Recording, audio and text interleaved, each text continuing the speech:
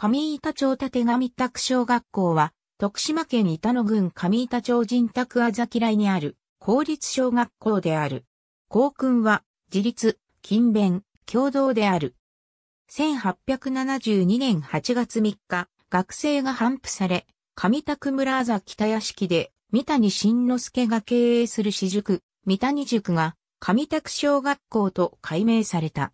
1874年後月新宅村の管理に移り、公立人宅小学校と改名した。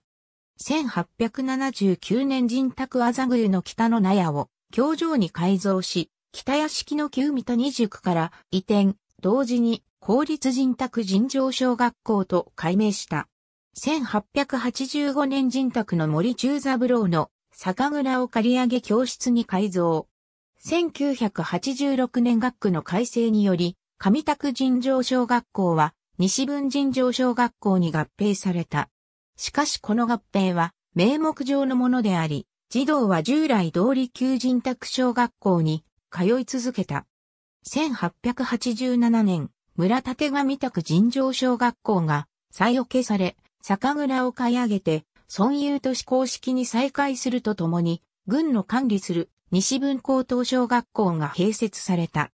1889年、町村制の施行による合併で大仙村が発足し、大仙村立上宅尋常小学校と解消した。1909年4月1日、上宅あざ嫌いにあった第二上板高等、小学校は土地に移転し、同時に高等科が併設されて、板野郡人宅尋常高等小学校と解消した。1926年、大仙村立上宅尋常高等小学校と解消。1932年再び、板野郡人宅尋常高等小学校に戻した。1936年人宅嫌いに木造校舎を新設し移転した。1941年国民学校令の施行により、板野郡大仙村上宅国民学校と解消した。1947年教育基本法、学校教育法により、大仙村上宅小学校と解消、1955年町村合併による上板町成立により、上板北小学校と解消、翌1956年、板野郡上板町人宅小学校と解消、その後、上板町立上宅小学校と解消された。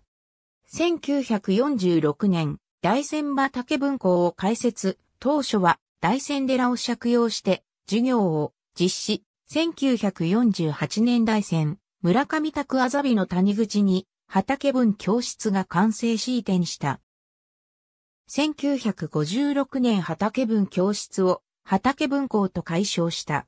1968年4月1日、畑文校の生徒が皆無となり閉鎖された。ありがとうございます。